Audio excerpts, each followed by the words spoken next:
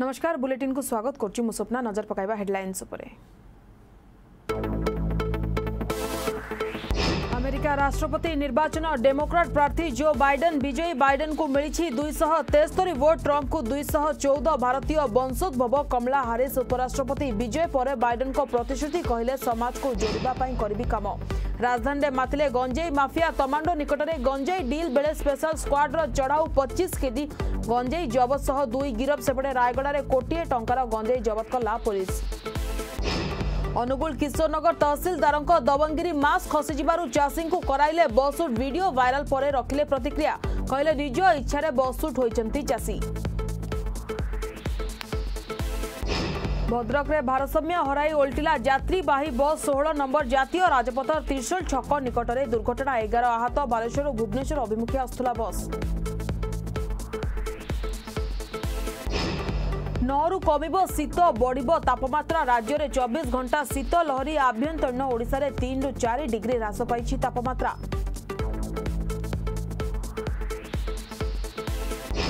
ଏବଂ ଆଜି ବିଜେପିର ବରିଷ୍ଠ ନେତା ଲାଲକୃଷ୍ଣ ଆଡଭାନୀଙ୍କ ଜନ୍ମଦିନ। ତେୟାନବେ ବର୍ଷ ବୟସରେ ପାଦ ଦେଲେ ବିଜେପିର ଭୀଷ୍ମ ପିତାମହ। ଟ୍ୱିଟ୍ କରି ଜନ୍ମଦିନର ଶୁଭେଚ୍ଛା ଜଣାଇଲେ ପ୍ରଧାନମନ୍ତ୍ରୀ ନରେନ୍ଦ୍ର ମୋଦି।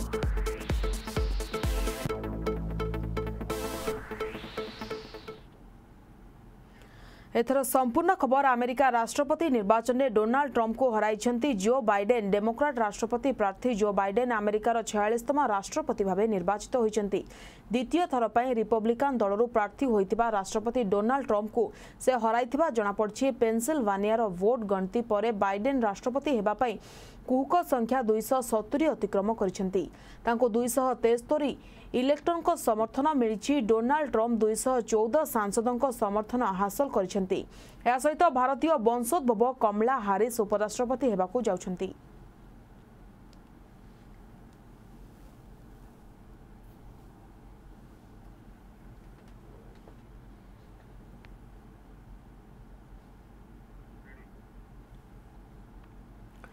ଆମେରିକାର ନୂଆ ରାଷ୍ଟ୍ରପତିଙ୍କୁ ଶୁଭେଚ୍ଛା ଜଣାଇଲେ ପ୍ରଧାନମନ୍ତ୍ରୀ ନରେନ୍ଦ୍ର ମୋଦି ଦୁଇ ଦେଶ ମଧ୍ୟରେ ସମ୍ପର୍କର ଆହୁରି ଉନ୍ନତି ପାଇଁ ଆଶା ବ୍ୟକ୍ତ କରିଛନ୍ତି।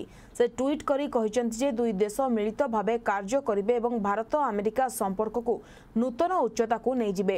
ଉପରାଷ୍ଟ୍ରପତି ଭାବେ ନିର୍ବାଚିତ କମଲା ହାରିସ୍ଙ୍କୁ ମଧ୍ୟ ସେ ଅଭିନନ୍ଦନ ଜଣାଇଛନ୍ତି। ସେ କମଲା ହାରିସ୍ଙ୍କୁ ଟ୍ୱିଟ୍ ଜରିଆରେ କହିଛନ୍ତି ଯେ ସଫଳତା ଏକ ନୂଆ ରାସ୍ତା ଦେଖାଇବାକୁ ଯାଉଛି ଏବଂ ସମସ୍ତ ଭାରତୀୟ ଆମେରିକୀୟ ନାଗରିକ ଏଥିପାଇଁ ଗର୍ବିତ ହେବେ। ସେହିପରି ରାଷ୍ଟ୍ରପତି କୋବିନ୍ଦ ଜୋ ବାଇଡେନ୍ଙ୍କୁ ଅଭିନନ୍ଦନ ଜଣାଇଛନ୍ତି ଭାରତ ଆମେରିକା ସମ୍ପର୍କକୁ ଆହୁରି ମଜବୁତ କରିବା ପାଇଁ ତାଙ୍କ ସହ କାମ କରିବାକୁ ଆଗ୍ରହୀ ଥିବା କୋବିନ୍ଦ କହିଛନ୍ତି କୋବିନ୍ଦ ଟ୍ୱିଟ୍ କରି କହିଛନ୍ତି ରାଷ୍ଟ୍ରପତି ଓ ଉପରାଷ୍ଟ୍ରପତି ଭାବରେ ନିର୍ବାଚିତ ହୋଇ ବାଇଡେନ୍ ଏବଂ କମଲା ହାରିସ୍ଙ୍କୁ ମୋର ଶୁଭେଚ୍ଛା ମୁଁ ତାଙ୍କୁ ଏକ ସଫଳ କାର୍ଯ୍ୟକାଳୀ କାମନା କରୁଛି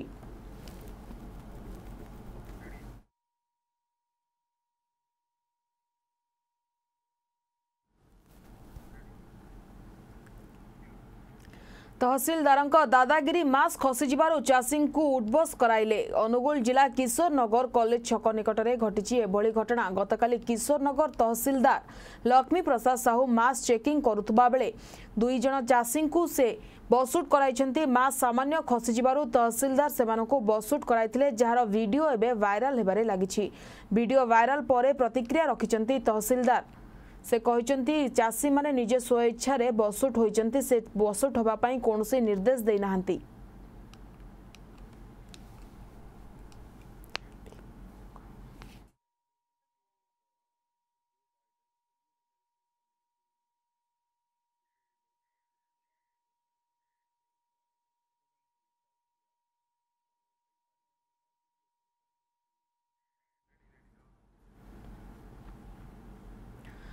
ଭାରସାମ୍ୟ ହରାଇ ଜାତୀୟ ରାଜପଥ ତଳକୁ ଓଲଟିଲା ଯାତ୍ରୀବାହୀ ବସ୍ ବାଲେଶ୍ୱରରୁ ଭୁବନେଶ୍ୱର ଅଭିମୁଖେ ଆସୁଥିବା ବେଳେ ଏକ ଯାତ୍ରୀବାହୀ ବସ୍ ଭଦ୍ରକ ତ୍ରିଶୂଳ ଛକ ନିକଟରେ ଓଲଟି ପଡ଼ିଥିଲା।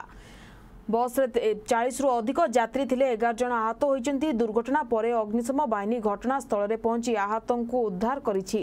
ସମସ୍ତ ଆହତଙ୍କୁ ଚିକିତ୍ସା ପାଇଁ ମେଡିକାଲରେ ଭର୍ତ୍ତି କରାଯାଇଛି।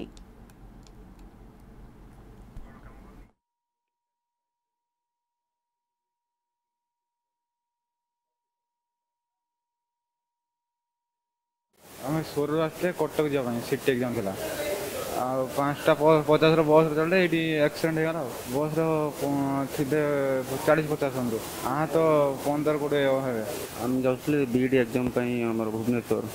ଆଉ ତ ବସ୍ଟି ଏତେ ସ୍ପିଡ଼ି ଥିଲା ଯେ ସେ ପୁରା ବ୍ରିଜ୍ ତଳକୁ ପୁରା ଖସି ପଡ଼ିଲା ଆଉ। ବସ୍ରେ ମିନିମମ୍ ତିରିଶ ଜଣ ପାଖାପାଖି ଥିଲେ। ମିନିମମ୍ ପନ୍ଦର ଜଣ ପାଖାପାଖି ଆହତ ହେଇଛନ୍ତି ଆଉ। ପନ୍ଦରରୁ କୋଡ଼ିଏ ଜଣ ଆଉ। ଡ୍ରାଇଭର କିନ୍ତୁ ବହୁତ ସ୍ପିଡ଼ି ଗାଡ଼ି ନେଉଥିଲା କିନ୍ତୁ ସେଟା ରାଜଧାନୀରେ ପୁଣି ମାତିଲେ ଗଞ୍ଜେଇ ମାଫିଆ ଗତକାଲି ସନ୍ଧ୍ୟାରେ ତମାଣ୍ଡୋ ଥାନା ଅନ୍ତର୍ଗତ ହୁଣ୍ଡାଇ ସୋରୁମ୍ ନିକଟରେ ସ୍ପେଶାଲ ସ୍କ୍ୱାଡ୍ ଓ ତମାଣ୍ଡୋ ପୋଲିସ ଚଢ଼ାଉ କରି ଦୁଇ ଜଣଙ୍କୁ ଗିରଫ କରିବା ସହିତ ପଚିଶ କିଲୋ ଗଞ୍ଜେଇ ଜବତ କରିଛି। ସେମାନଙ୍କ ନିକଟରୁ ଗୋଟିଏ ଦାମୀ କାର୍ ମୋବାଇଲ ଫୋନ୍ ମଧ୍ୟ ଜବତ କରିଛି। ପୋଲିସ ଏହା ସହିତ ଚାରି ହଜାର ସାତଶହ ଟଙ୍କା ମଧ୍ୟ ଏହି ଟିମ୍ ଜବତ କରିଛି।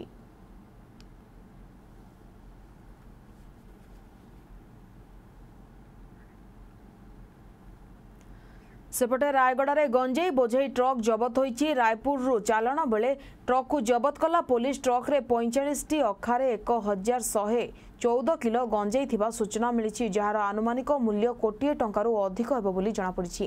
ଟ୍ରକ୍ ମାଲିକକୁ ଅଟକ ରଖି ପୋଲିସ ପଚରାଉଚରା କରୁଛି। ସେହିପରି ଟ୍ରକ୍ରେ ଥିବା ଅନ୍ୟମାନେ ଖସି ପଳାଇବାରେ ସକ୍ଷମ ହୋଇଛନ୍ତି।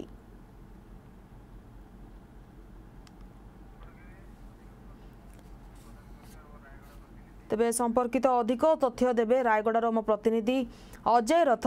ଅଜୟ ଯଦି କହିବା ରାୟଗଡ଼ାରୁ ପାଖାପାଖି ଏକ କୋଟି ଟଙ୍କାର ଗଞ୍ଜେଇ ଜବତ ହୋଇଛି ତେବେ ପୋଲିସ ସମ୍ପର୍କିତ କାହାକୁ ଗିରଫ କରିଛି ଏବଂ କ'ଣ ଅଧିକ ଅପଡେଟ୍ ରହିଛି? ସ୍ୱପ୍ନା ଗତକାଲି ବିଳମ୍ବିତ ରାତିରେ ପୋଲିସ ଗୋଟେ ବିଶ୍ୱସ୍ତ ସୂତ୍ରରୁ ଖବର ପାଇ ଆଉ ଗୋଟିଏ ଟ୍ରକ୍ ରାୟଗଡ଼ା ସହରର ଜେସ୍କୋ ନିକଟରୁ ଗୋଟେ ଟ୍ରକ୍ ଠିଆ ହେଇଥିବା ସନ୍ଦେହ କରିଥିଲା। କୌଣସି ସୂତ୍ରରୁ ଖବର ପାଇ ସେଠାରେ ସ୍କ୍ୱାଡ ଚଢାଉ କରିଥିଲେ। ଚଢାଉ କରିବା ପରେ ଯାହା ଜଣା ପଡିଲା କି ସେଥିରେ ମାନେ ଚଢାଉ କରି ଟ୍ରକ୍ ଆଣି ଯେତେବେଳେ ତଦନ୍ତ କରି- ମାନେ ତାକୁ ତନଖି କଲେ ତନଖି କରିବା ପରେ ଜଣା ପଡେ ଜାଣିବାକୁ ପାଇଲା ସେଥିରେ ଗଞ୍ଜେଇ ଗଞ୍ଜେଇ ରହିଛି। କିନ୍ତୁ କୌଶଳ କ୍ରମେ ସେଠାରେ ଡ୍ରାଇଭର ଓ ଅନ୍ୟ ଯୋଉ- ଯୋଉମାନେ ଥିଲେ ସେଠାରୁ ଫେରି ମାନେ ଫରାର ହେଇଯାଇଥିଲେ। କିନ୍ତୁ ଡ୍ରାଇଭର ମାନେ ମାଲିକ ଯିଏ ଅଛନ୍ତି ସେ ଟ୍ରକ୍ ଟି ଯାହା ଜଣା ପଡୁଛି ମହାରାଷ୍ଟ୍ରର ଟ୍ରକ୍ ଟି বারো চকিয়া ট্রফি মালিকো অখিল ভিকান ଟ୍ରକ୍ ଟି ଅ, ମାଲିକ ଅଖିଳ ଭିକାନ ଅ, ପିଞ୍ଜାରୀ ନାମକ ଯୋଉ ମାଲିକଙ୍କୁ ପୋଲିସ ଅଟକ ରଖିଛି କିନ୍ତୁ ବର୍ତ୍ତମାନ ସୁଦ୍ଧା କୌଣସି ପୋଲିସ ତରଫରୁ ମୌଖିକ ଭାବରେ ସୂଚନା ନ ମିଳିଲେ ମଧ୍ୟ ପୋଲିସ ଯାହା ସୂଚନା ଦେଇଛି ଏକ ହଜାର ଶହେ ଚଉଦ କିଲୋ ଗଞ୍ଜେଇ ହେବ ଯାହାକି ଏକ କୋଟି ଟଙ୍କାରୁ ମଧ୍ୟ ଉର୍ଦ୍ଧ୍ୱ ହେବ। ତ ବର୍ତ୍ତମାନ ପୋଲିସ ଅଧିକ ତଦନ୍ତ ଜାରି ରଖିଛି। ପଇଁଚାଳିଶଟି ବ୍ୟାଗରେ ଜରି ବ୍ୟାଗରେ ଏଇ ଗଞ୍ଜେଇ ରାୟପୁରକୁ ଚଲାଣ ହଉଥିବା ସୂଚନା ମିଳୁଛି। କିନ୍ତୁ ଅନ୍ୟ ବାଟେ ଯଦି ବେସରକାରୀ ତରଫରୁ ଯଦି କୁହାଯିବ ତାହେଲେ ଯାହା ଶୁଣିବାକୁ ଖବର ରହିଛି ଟ୍ରକ୍ଟି ଉକ୍ତ ଟ୍ରକ୍ଟି ଦୁଇ ଦିନ ହେଲା ସେଇ ଜାଗାରେ ସେ ରହିଥିଲା। କେଉଁଠୁ ଆସିଲା କଣ ବର୍ତ୍ତମାନ କେଉଁଠୁ ଆସିଲା କୋଉଠୁ ଚାଲାଣ ହଉଥିଲା ତାହା ସ୍ୱଚ୍ଛ ଭାବରେ ସଠିକ ଭାବରେ ତଥ୍ୟ ପୋଲିସ ତରଫରୁ ମିଳିନାହିଁ ପୋଲିସ ମଧ୍ୟ କୌଣସି ସାମ୍ବାଦିକ ସମ୍ମିଳନୀ କରି ଦେଇନାହାନ୍ତି ବର୍ତ୍ତମାନ ସୁଦ୍ଧା ସ୍ୱପ୍ନା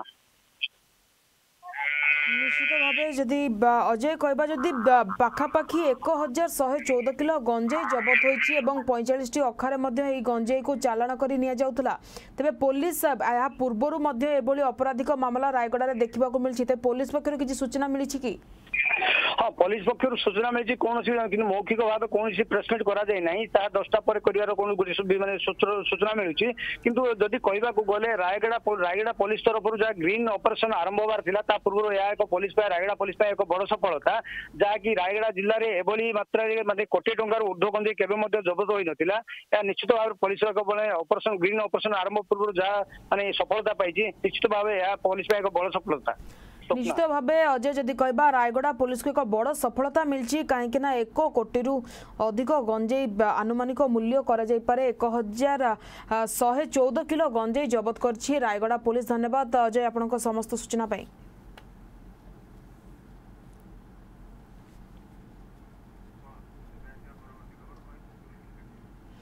ଆସିବା ପରବର୍ତ୍ତୀ ଖବରକୁ। କାମ କରାଇଲେ କିନ୍ତୁ ମୂଲ ଦେଲେନି। ଚାନ୍ଦବାଲି ନେହେରୁ ଶିଶୁ ଉଦ୍ୟାନ ତଥା ଚାନ୍ଦବାଲି ପାର୍କର ସୌନ୍ଦର୍ଯ୍ୟକରଣ ନିମନ୍ତେ ବିଭିନ୍ନ ଗଛ ଏବଂ ଘାସ ରୋପଣ କରିଥିବା ଦମ୍ପତି ଅସୀମା ମୁଦୁଲି ଏବଂ ସୁକାନ୍ତ ମୁଦୁଲିଙ୍କୁ ଆଜି ଯାଏଁ ସେମାନଙ୍କ ମୂଲ ପ୍ରଦାନ କରାଯାଇନି। ଯାହା ପ୍ରତିବାଦରେ ଦମ୍ପତି ଧାରଣା ଦେଇଛନ୍ତି ନିଜ ପ୍ରାପ୍ୟ ରାଶି ପାଇଁ ସେମାନେ ବିଧାୟକ ବିଡିଓ ଜିଲ୍ଲାପାଳଙ୍କ ଦ୍ୱାରସ୍ଥ ହୋଇଥିଲେ। ସମସ୍ତଙ୍କ ପାଖରୁ ନିରାଶ ହେବା ପରେ ଶେଷରେ ଚାନ୍ଦବାଲି ବିଡିଓଙ୍କ କାର୍ଯ୍ୟାଳୟ ବାରଣ୍ଡାରେ ଆମରଣ ଅନଶନରେ ବସିଛନ୍ତି। ଆଜିକୁ ବାର ଦିନ ବିତି ଯାଇଥିଲେ ବି ଅନଶନ ସ୍ଥଳରେ କେହି ବି ପହଞ୍ଚି ନଥିଲେ ତେବେ ଆଜି ବିଜେପି ନେତା ତଥା ଧାମନଗର ବିଧାୟକ ବିଷ୍ଣୁ ସେଠୀ ଅନଶନ ସ୍ଥଳରେ ପହଞ୍ଚି ଅନଶନକାରୀଙ୍କ ସହ ଆଲୋଚନା କରିବା ସହିତ ବିଡିଓଙ୍କ ସହ ଆଲୋଚନା କରିଥିଲେ।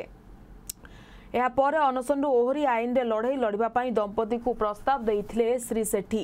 ଶ୍ରୀ ସେଠୀଙ୍କ ପ୍ରସ୍ତାବରେ ସହମତି ପ୍ରଦାନ କରି ଅନଶନରୁ ଓହରିଛନ୍ତି ଦମ୍ପତି ଏହି କଥା ବିଧାନସଭାରେ ଉଠାଇବା ସହ ବିଜେପି ନୈତିକ ସମର୍ଥନ ଦେବ ବୋଲି ଶ୍ରୀ ସେଠୀ କହିଛନ୍ତି।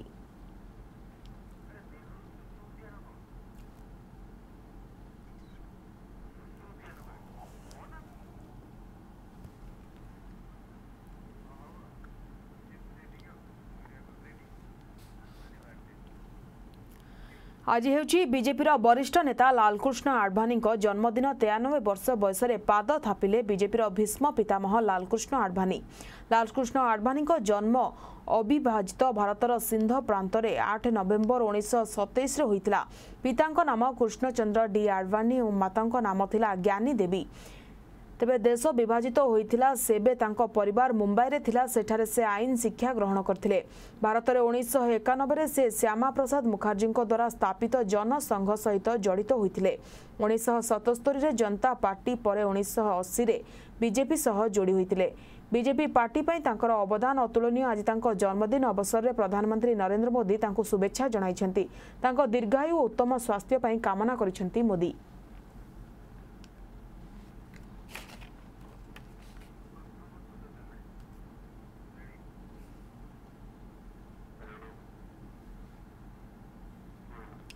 ଗଞ୍ଜାମ ଜିଲ୍ଲା ବୁଗୁଡା ବ୍ଲକ ଅନ୍ତର୍ଗତ ଖୋଳଖାଲି ପଞ୍ଚାୟତରେ ସ୍ୱଚ୍ଛ ଭାରତ ମିଶନରେ ପ୍ରଥମ ଶୌଚାଳୟ ନିର୍ମାଣ କରାଯାଇଛି। ଶୌଚାଳୟ ନିର୍ମାଣ ଦ୍ୱାରା ଗାଁର ପରିମଳ ବ୍ୟବସ୍ଥାରେ ସୁଧାର ଆସିବ ବୋଲି ସରପଞ୍ଚ କହିଛନ୍ତି ତେଣୁ ଆଗାମୀ ଦିନରେ ଘରେ ଘରେ ଶୌଚାଳୟ ନିର୍ମାଣ ଉପରେ ଗୁରୁତ୍ୱ ଦିଆଯିବ ବୋଲି ସେ କହିଛନ୍ତି। ଆମର ବୁଗୁଡ଼ା ବ୍ଲକରେ ଏଇଭଳି ଯଦି ପ୍ରତି ଗାଁରେ ପ୍ରତି ପଞ୍ଚାୟତରେ ଗୋଟେ ଗୋଟେ ପାଇଖାନା ନିର୍ମାଣ ହୁଏ ତାହେଲେ ଏଇଟା ବୁଗୁଡ଼ା ବ୍ଲକରେ ଗୋଟେ ଉଦାହରଣ ହେବ। ଯେଉଁଭଳି ଆମେ ଆମ ପଞ୍ଚାୟତରେ ଆକୁ କରିଛୁ ପ୍ରଥମ ଥର ପାଇଁ ଏମିତି ସବୁ ପଞ୍ଚାୟତରେ ଏଭଳି କଲେ ଆମ ବୁଗୁଡ଼ା ବ୍ଲକ ଯେମିତି ଗଞ୍ଜାମ ଜିଲ୍ଲାରେ ପ୍ରଥମ କରି ନାଁ ରଖିବ ସେଥିପାଇଁ ମୁଁ ସବୁ ପଞ୍ଚାୟତ ବାସୀଙ୍କୁ ପ୍ରତି ପଞ୍ଚାୟତର ସରପଞ୍ଚ ଓ ସମସ୍ତଙ୍କୁ ମୁଁ ଅନୁରୋଧ କରୁଛି। ପ୍ରଥମେ ଆମର ତ ପଞ୍ଚାୟତ ସମିତିରୁ ଡିସ୍କସନ୍ ହେଲା ଯେ ପ୍ରତି ପଞ୍ଚାୟତରେ ଆଦର୍ଶ ଶୌଚାଳୟ ନିର୍ମାଣ କରାଯାଉ। ତେଣୁ ଯେବେ ଆମକୁ ପରାମର୍ଶ ଦେଲେ ତାପରେ ଆମ ପଞ୍ଚାୟତରେ ଆମେ କାମ ଆରମ୍ଭ କରିଥିଲୁ। ଶୀଘ୍ର ବି ସାରିଥିଲୁ। ଖୋଳଖାଳି ପଞ୍ଚାୟତରେ ପ୍ରଥମେ ଆମର ଏଇ କାମ ସାରିଛୁ। ତେଣୁ ଏଇ ପରିମଳ ପାଇଁ ଆମେ ବି ଖୁସି। ଏହିପରି ଯଦି ପ୍ରତ୍ୟେକ ପଞ୍ଚାୟତରେ ଆଗ୍ରହ ସହକାରେ ସେମାନେ ତିଆରି କରିବେ ଶୌଚାଳୟ ହେଲେ ପରିମଳକୁ ଉପଯୁକ୍ତ ହୋଇପାରିବ। আসবা পরবর্তী খবরকু পুঁ পশ্চিমবঙ্গর দাদাগিরি ওড়শা সীমার বুলিলা বুলডোজর জেসিবি লগাই গছ উপাড়িলে পান বরজ ভাঙ্গিলে দীর্ঘ দিনর ব্যবধান পরে পুঁ ফেরিছি ওড়শা পশ্চিমবঙ্গ সীমা বিবাদ পুঁ পশ্চিমবঙ্গর দাদাগিরি ওড়শা সীমার বুলিলা বুলডোজর জেসিবি লগাই গছ উপাড়িলে পান বরজ ভাঙ্গিলে ଦୀର୍ଘ ଦିନର ବ୍ୟବଧାନ ପରେ ପୁଣି ଫେରିଛି ଓଡ଼ିଶା ପଶ୍ଚିମବଙ୍ଗ ସୀମା ବିବାଦ। ସବାଜିପୁରରେ ଜୋର ଜବରଦସ୍ତ ଦଖଲ କରିବାକୁ ଉଦ୍ୟମ। ଗଛ ଉପୁଡ଼ିବା ସହ ମାଟି ସମତଳ କରିଛି ପଶ୍ଚିମବଙ୍ଗ ପ୍ରଶାସନ ଯାହାକୁ ନେଇ ଅସନ୍ତୋଷ ଉପୁଜିଛି। ଖବର ପାଇ ଭୋଗରାଇ ବିଧାୟକ ଅନନ୍ତ ଦାସ ଓ ବ୍ଲକ ପ୍ରଶାସନ ପହଞ୍ଚି ସ୍ଥିତି ସମ୍ଭାଳିବାକୁ ଚେଷ୍ଟା କରିଥିଲେ। ବାଲେଶ୍ୱର ଜିଲ୍ଲାର ଜଳେଶ୍ୱର ଓ ଭୋଗରାଇ ବ୍ଲକରେ ବୟାଅଶୀଟି উভয় গাঁ ও পশ্চিমবঙ্গ প্রশাসন আলোচনা করে সীমা নির্ধারণ করিবার আবশ্যকতা রয়েছে না কিছু আমাকে ওয়ারেন্ট দেই নাই আম ঘর মালিক কেন আম পিলা মানে কেই না আমি মায়া লোক ঘর ওড়ছে সে যে কেতবেলে আসি ভাঙ্গি দেলে আমি শুনতে পাইকি আমি আইলে আমি কেন কি জায়গায় ভাঙ্গুছে কাইকি না এটা ব্যাঙ্গ জায়গা আমার কোন ব্যাঙ্গ না আমার শাশু শ্বশুর সব লগিছে না আমার স্বামী মানে লগিছে তুমি কাইকি ভাঙ্গিল আমি বন্ধ করছে ঠিক আছে আম গাঁর আমার সরপঞ্চকে জনাইবা আমার আরআই কে জনাইবা আমার এমএলএ কে জনাইবা আমার সমস্ত জনাইবা ତାପରେ ଯାଇକି ଯିବେ ଆମ କାମ ବନ୍ଦ କରି ରଖିଛେ। ଆପଣଙ୍କର ଲୋକ ଆସି ଆସି ବ୍ୟବସ୍ଥା କରୁ। ତେବେ ପଶ୍ଚିମବଙ୍ଗର ବାରମ୍ବାର ଓଡ଼ିଶାକୁ ଅନୁପ୍ରବେଶ ପାଇଁ ସୀମାନ୍ତବାସୀ ବହୁ ଅସୁବିଧାର ସମ୍ମୁଖୀନ ହେଉଛନ୍ତି। ସେପଟେ କିନ୍ତୁ ସେମାନଙ୍କ ପୈତୃକ ଜାଗାରୁ ଗୋଟିଏ ଇଞ୍ଚ ଦେବେ ନାହିଁ ବୋଲି ରୋକଠୋକ କହିଛନ୍ତି ସ୍ଥାନୀୟ ବାସିନ୍ଦା। ଅନ୍ୟପକ୍ଷରେ ବିଧାୟକ ଅନନ୍ତ ଦାସ କହିଛନ୍ତି ଦୁଇ ରାଜ୍ୟ ମଧ୍ୟରେ ଦ୍ୱିପାକ୍ଷିକ ଆଲୋଚନା ପାଇଁ ଚେଷ୍ଟା କରିବା ଲାଗି କହିଛନ୍ତି। ତହସିଲଦାର ଏନେଇ ଜିଲ୍ଲାପାଳଙ୍କୁ ଅବଗତ କରାଇବେ ବୋଲି କହିଛନ୍ତି।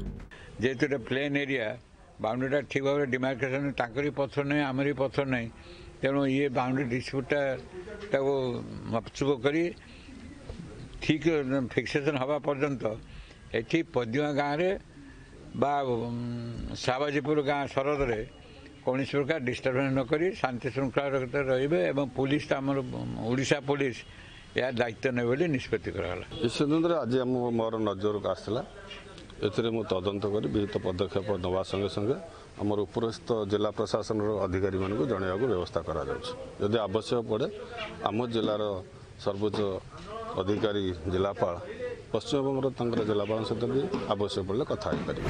ବାରମ୍ବାର ଓଡ଼ିଶା ପଶ୍ଚିମବଙ୍ଗ ସୀମା ବିବାଦ ଦେଖାଦେଉଛି ଏନେଇ ରାଜ୍ୟ ସରକାର ଦ୍ୱିପାକ୍ଷିକ ଆଲୋଚନା କରି ଯଥାଶୀଘ୍ର ସୀମା ବିବାଦ ତୁଟାଇବା ପାଇଁ ସୀମାନ୍ତବାସୀ ଅନୁରୋଧ କରିଛନ୍ତି। ବାଲେଶ୍ୱର ଜିଲ୍ଲା ଜଳେଶ୍ୱରରୁ ଗୋପବନ୍ଧୁ ସାହୁଙ୍କ ରିପୋର୍ଟ ଅର୍ଗସ୍ ନ୍ୟୁଜ୍। ଆସିବା ପରବର୍ତ୍ତୀ ଖବରକୁ ଦୀର୍ଘ ଚାରି ବର୍ଷ ପରେ ବି ସରୁନି କ୍ରାଇମବ୍ରାଞ୍ଚ ତଦନ୍ତ ପାଞ୍ଚ ବର୍ଷ ହେଲା ତଦନ୍ତ ପରିସରରେ ଉଲ୍ଲାସ ଜେନା ମୃତ୍ୟୁ ମାମଲା ନା ତଦନ୍ତ ସରୁଛି ନା ରହସ୍ୟ ପଦାକୁ ଆସୁଛି। କେବଳ ମା ଆଖିରୁ ଗଡ଼ି ଚାଲିଛି ଲୁହ ପୁଅର ମୃତ୍ୟୁର ଦୀର୍ଘ ପାଞ୍ଚ ବର୍ଷ ଧରି ପ୍ରତି ମୁହୂର୍ତ୍ତରେ ବାହୁନି କାନ୍ଦୁଛି ମା। ସରକାରୀ କଳରେ ନିଷ୍କ୍ରିୟତା ଯୋଗୁଁ ନାୟିକା ପ୍ରକ୍ରିୟାରେ ବିଳମ୍ବ ଗୋଟିଏ ପୃତହରା ମାଆକୁ ଆଖିର ଏତେ ଦିନ ପରେ ବି ଓଦା କରିଚାଲିଛି। ପାରାଦୀପ କୁଜଙ୍ଗ ମଦ ଦୋକାନ ପୋଡ଼ି ଘଟଣାକୁ ପୁରିଲା ପାଞ୍ଚ ବର୍ଷ ହେଲେ ଏବେ ବି ରହସ୍ୟ ଘେରରେ ଉଲ୍ଲାସ ଜେନାଙ୍କ ମୃତ୍ୟୁ। ଦୁଇହଜାର ଷୋହଳ ମସିହା ନଭେମ୍ବର ପାଞ୍ଚ ତାରିଖ ଦୁଇଟା ଚଉତିରିଶ ମିନିଟ୍। ସିସିଟିଭିରେ ଆପଣ ଦେଖୁଛନ୍ତି ଦୁଇ ଲୋକ ଜାର୍ ଧରି ଭିତରକୁ ପଶିବାର ଦୃଶ୍ୟ। ଆଉ ଦୁଇଟା ଚଉବନ ମିନିଟ୍ର ଏହି ଛାତି ଧରା ଦୃଶ୍ୟକୁ ଦେଖନ୍ତୁ। ସମ୍ପୂର୍ଣ୍ଣ ମଦ ଦୋକାନ କିପରି ଜଳିଯାଉଛି। ପାଞ୍ଚ ବର୍ଷ ତଳର ଏହି ଘଟଣାରେ ଆଜି ବି ଝରି ଚାଲିଛି ମା ଆଖିର ଲୁହ। ପୁଅକୁ ଝୁରି ନିଇତି ମରୁଥିବା ଛାତିଥରା ଦୁଃଖକୁ ବୟାନ କରୁଛି ମନ ତଳର କୁହ। ପାଞ୍ଚ ବର୍ଷ ବିତିଗଲା। ପାରାଦୀପ କୁଜଙ୍ଗ ପଙ୍କପାଳ ମଦ ଦୋକାନ ପୋଡ଼ା ଓ ଉଲ୍ଲାସ ଜେନା ମୃତ୍ୟୁ ଘଟଣା। ହେଲେ ଏବେ ବି ନ୍ୟାୟ ପାଇବା ଆଶାରେ ମୃତ ଉଲ୍ଲାସଙ୍କ ମା ଓ ଭାଇ। ଦୁଇହଜାର ସତର ମସିହାରୁ କ୍ରାଇମବ୍ରାଞ୍ଚ ଏହାର ତଦନ୍ତ ଦାୟିତ୍ୱ ନେଇଥିଲେ ମଧ୍ୟ ସରୁନି ତଦନ୍ତ। ସେଦିନର ମଦ ଦୋକାନ ସିସିଟିଭି ଫୁଟେଜ୍ ଏବେ ବି ରହସ୍ୟ ଘେରରେ। ଦୁଇହଜାର ଷୋହଳ ମସିହା ନଭେମ୍ବର ପାଞ୍ଚ ତାରିଖରେ ଘଟିଥିଲା ଏହି ଛାତିଥରା ଘଟଣା। ଯେଉଁଥିରେ ମଦ ଦୋକାନରେ ସେଲ୍ସମ୍ୟାନ୍ ଥିବା ଉଲ୍ଲାସ ଜେନାଙ୍କର ମୃତ୍ୟୁ ହୋଇଥିଲା। ଏହି ମୃତ୍ୟୁକୁ ନେଇ ଗ୍ରାମବାସୀ ମଦ ଦୋକାନରେ ପଶି ଭଙ୍ଗାରୁଜା କରିବା ସହିତ ଜଗତସିଂହପୁର ପାରାଦୀପ ରାସ୍ତା ଅବରୋଧ କରିଥିଲେ। ଘଟଣାସ୍ଥଳରେ କୁଜଙ୍ଗ ପୁଲିସ ପହଞ୍ଚି ଉଲ୍ଲାସଙ୍କ ମୃତଦେହ ଉଦ୍ଧାର କରିବା ସହିତ ଉକ୍ତ ମଦ ଦୋକାନରୁ ସିସିଟିଭି ଫୁଟେଜ୍ ଓ ବହୁ ଗୁରୁତ୍ୱପୂର୍ଣ୍ଣ କାଗଜପତ୍ର ଜବତ କରିଥିଲା।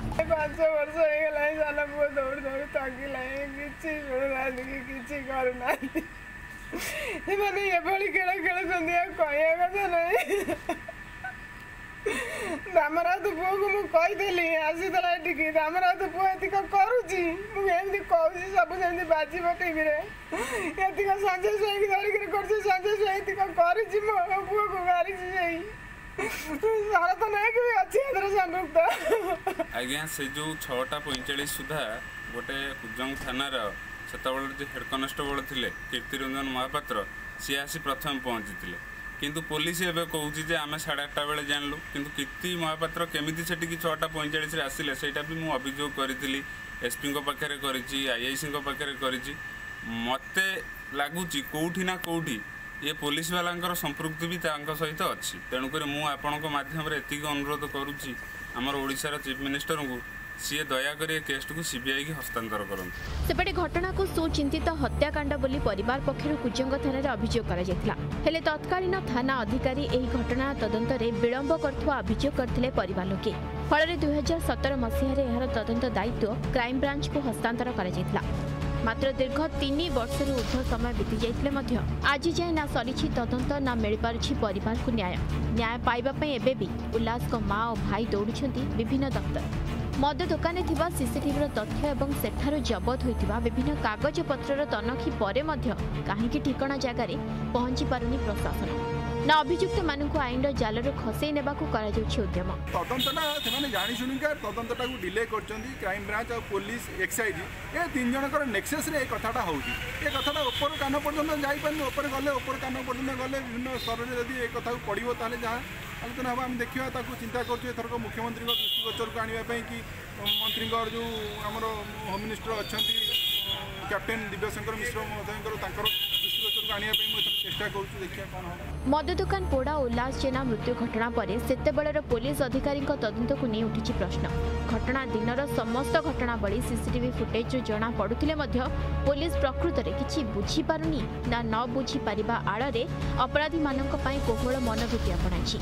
ପୋଲିସ ପ୍ରଶାସନଠାରୁ ଆରମ୍ଭ କରି କ୍ରାଇମବ୍ରାଞ୍ଚ ପର୍ଯ୍ୟନ୍ତ ପର୍ଯ୍ୟାୟକ୍ରମେ ଦୀର୍ଘ ଦିନ ଧରି ତଦନ୍ତ କରୁଥିଲେ ବି କୌଣସି ନିର୍ଯାସରେ ପହଞ୍ଚି ନ ପାରିବା ସାଧାରଣ ଲୋକଙ୍କ ମନରେ ସନ୍ଦେହ ସୃଷ୍ଟି କରିଛି। ପାରାଦୀପରୁ ବବ୍ରୁ ବାହାନ ରାଉତଙ୍କ ରିପୋର୍ଟ ଅର୍ଗସ୍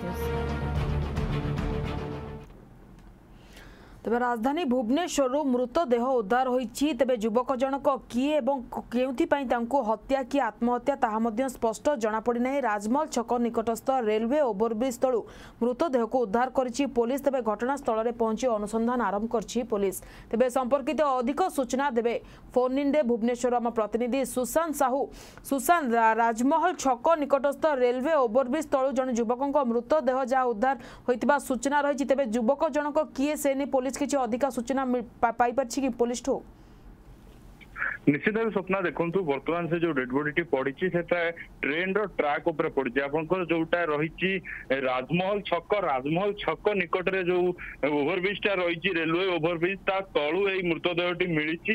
ଆଉ ବର୍ତ୍ତମାନ ସୁଦ୍ଧା ଏଇ ମୃତଦେହ ସେ ଲୋକ ଜଣକ କିଏ ଏବଂ ଏ, ତାଙ୍କୁ ଆ- ସେ ନିଜେ ଆତ୍ମହତ୍ୟା କରିଛନ୍ତି କିମ୍ବା ତାଙ୍କର ଏ, ହତ୍ୟା କରାଯାଇଛି ସେ ସମ୍ପର୍କରେ ଜଣା ପଡିନି ଜିଆର୍ ପୋଲିସର ଯିଏ ଓ ମାନେ ଅ- ଅଧିକାରୀ ସେମାନେ ଜିଆରପି ପୋଲିସର କିଛି ଜଣ କର୍ମଚାରୀ ମଧ୍ୟ ସେଠି ଉପସ୍ଥିତ ଅଛନ୍ତି ବର୍ତ୍ତମାନ ସୁଦ୍ଧା ସେମାନେ କହିବା କଥା ସେମାନେ ବର୍ତ୍ତମାନ ସୁଦ୍ଧା ଆଇଡେଣ୍ଟିଫାଏ କରିନାହାନ୍ତି ଏ ଲୋକଟି କିଏ ଏବଂ ଏମ୍, କଣ ପାଇଁ ମାନେ ସେଠି ରହି ସେ କଣ କରୁଥିଲା ଏବଂ ତାକୁ ହତ୍ୟା କରାଯାଇଛି କିମ୍ବା ଆତ୍ମହତ୍ୟା ସେ କରିଛି ତା ସହିତ ଆପଣ ଯଦି ଦେଖିବେ ସେ ଟ୍ରାକ୍ ଉପରେ ଯାଇକି ସେ ଲୋକଟି ଯା- ସେ ହତ୍ୟା କରିଛି କି ଆତ୍ମହତ୍ୟା କରିଛି ଜଣା ନାହିଁ କିନ୍ତୁ ତାର ହାତ ଏବଂ ଗୋଡ ଗୋଟେ କଟି ଯାଇଛି।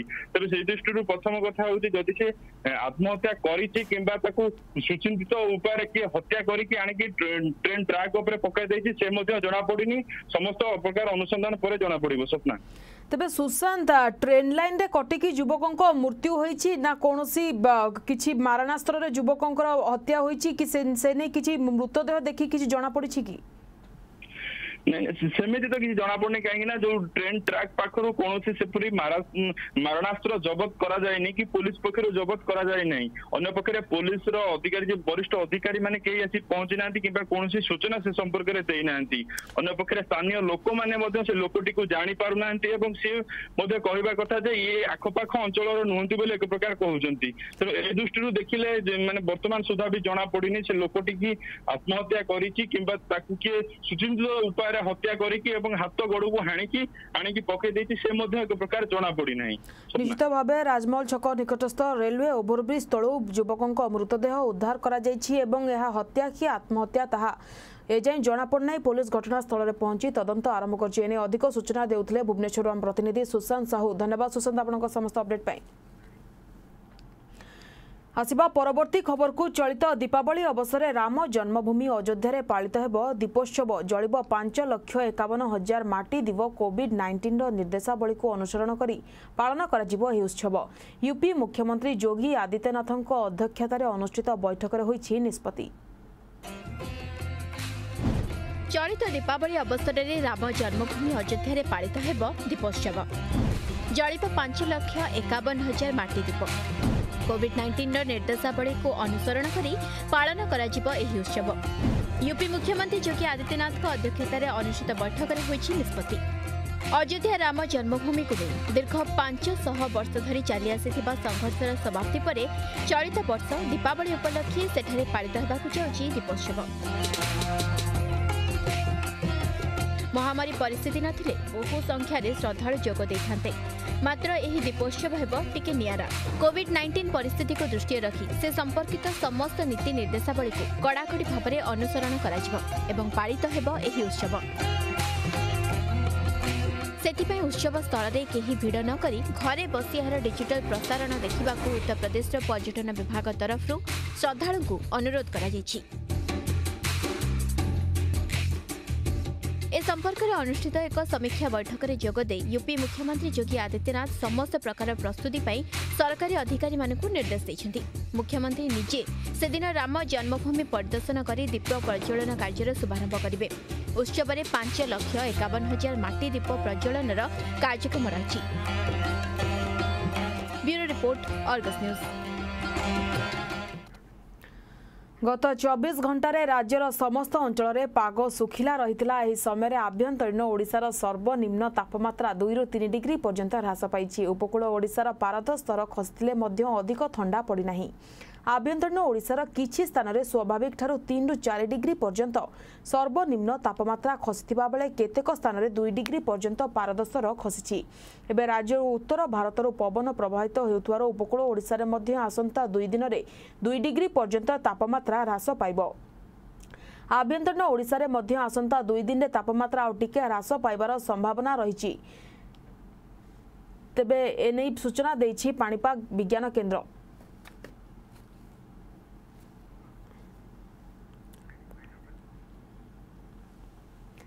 ବର୍ତ୍ତମାନ ବୁଲେଟିନରେ ସମୟ ସରିଛି ଅଧିକ ଖବର ପାଇଁ ଆମ ୱେବସାଇଟ୍ ଭିଜିଟ୍ କରିପାରିବେ ଅର୍ଗସ୍ ନ୍ୟୁଜ୍ ନମସ୍କାର